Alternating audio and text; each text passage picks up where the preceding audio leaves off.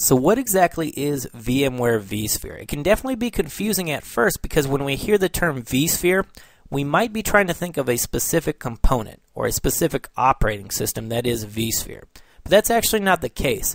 It's all of the components and the operating system that comes together to make VMware's enterprise virtualization platform. So that's what VMware calls vSphere. For example, the operating system that makes virtualization possible is ESXi, and that's part of vSphere. Another part is vCenter that we use to manage all of our ESXi hosts. So that's also part of vSphere. So again, it's all the components that come together to make VMware's enterprise virtualization platform. And what we mean by enterprise is this is their professional grade virtualization product, meaning if you need uptime, scalability, performance, all of that, which most businesses and educational institutions and government agencies, that's what they need, then vSphere is the product you're going to want to use as far as VMware is concerned. Now, VMware does make other virtualization platforms like vSphere Desktop and VMware View. This is what you're going to use if you want to virtualize your desktops. So on your virtual machines are going to be a desktop operating system like Windows 7 or Windows Vista or a Linux desktop operating system. Now vSphere Desktop and VMware View do run on the ESXi platform, just like vSphere. But the difference is really it boils down to the licensing and the functionality with VMware View. We can run desktop operating systems on our virtual machines with vSphere, but generally that's cost prohibitive because the licensing is more expensive with vSphere because it's really designed to run server operating systems on our virtual machines. With vSphere Desktop and VMware View, we actually have a licensing restriction so that we can only run desktop operating systems on our virtual machines, but the licensing is much cheaper. Another virtualization platform from VMware is VMware Workstation. VMware Workstation is like kind of like what we used to use, where we'd have a desktop, maybe that was in our case running Windows 7, let's say, and we want to run a virtual machine on that desktop and configure it and things like that. Well, we can run VMware Workstation on that Windows 7 desktop, and that will allow us to run a virtual machine on that desktop. There are also other vendors out there that have enterprise level virtualization platforms that are comparable to vSphere.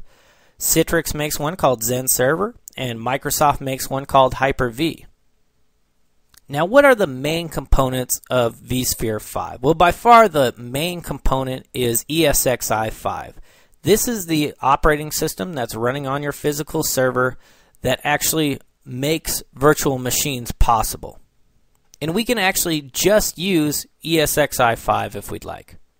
But most likely, we're going to want to also use vCenter 5. And this is a service that normally runs on like a Windows Server 2008 server or Windows Server 2008 R2 server that manages all of our ESXi hosts and makes some of the more advanced features possible, like vMotion, storage vMotion, DRS, high availability, fault tolerance.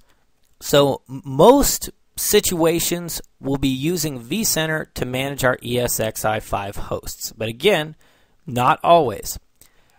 In either case, we're going to need to use the vSphere client in order to manage vCenter and ESXi hosts. So if we're using vCenter, we're going to use the vSphere client to connect directly to vCenter, and that will allow us to configure all of our ESXi hosts and vCenter and high availability and all that if we're not using vCenter, then we're going to connect directly to ESXi and configure our virtual machines and our ESXi host that way. So let's take a look at each one of these components real quick. So first off, we have ESXi 5, which is actually the operating system that's running on our physical server. And we're actually going to get to see what this looks like in a bit when we actually log onto the console of an ESXi 5 server. But normally, we're not going to log directly onto it. We're actually going to use the vSphere client. And this is the vSphere client. It can run on like a Windows 7 desktop, Windows Vista desktop. It can also run on a server operating system like Windows Server 2008 or 2008 R2. And we're going to use it to connect to either an ESXi host or a vCenter server in order to manage our environment. And we can have multiple administrators connected at the same time to our vCenter server or an ESXi host, but they're all going to do it through the vSphere client that would be installed on their specific desktop. Now I'm also on what is the vCenter server here, and this vCenter server is basically just services that are running in the background. That's what vCenter is. Here it is. VMware Virtual Center Server is the main service, and it has other supporting services that are running.